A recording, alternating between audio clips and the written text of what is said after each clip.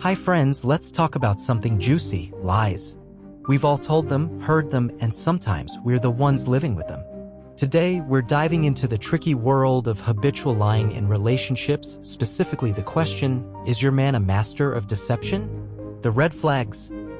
The inconsistent Casanova, does his story about that work meeting change every time you ask? Does he forget details or contradict himself?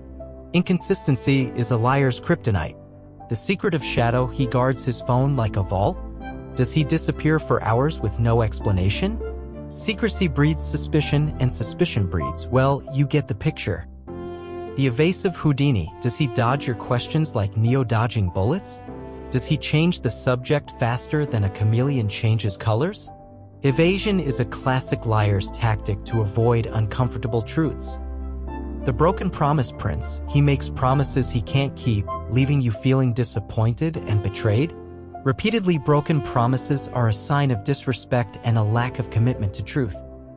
Beyond the lies, what's the root cause? Low self-esteem, sometimes lying stems from a need to appear perfect or avoid vulnerability. He might be suffering from low self-esteem and thus feels the need to hide his real motive, curating a perfect image to deceive you.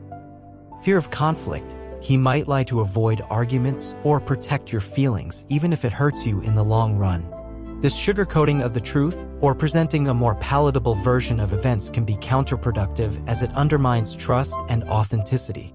When the truth eventually comes to light, it can create feelings of betrayal and resentment, damaging the very relationships one was trying to protect. Fibbing can create a cycle of deceit, when people become accustomed to telling small lies, it can gradually become easier to tell bigger ones. Over time, they may lose sight of the line between truth and falsehood, which can lead to a breakdown in personal integrity and a loss of self-respect.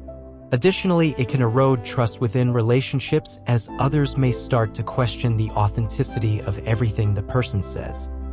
Past trauma, lying could be a coping mechanism for past experiences that caused him to distrust others or fear judgment. When someone lies in a relationship, it might be because they've been hurt before.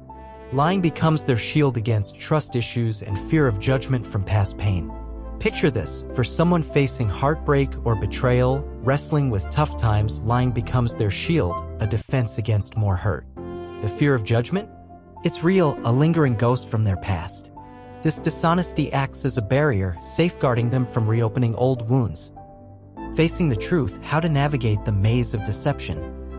Open and honest communication, talk to him about your concerns, expressing your feelings and needs without judgment.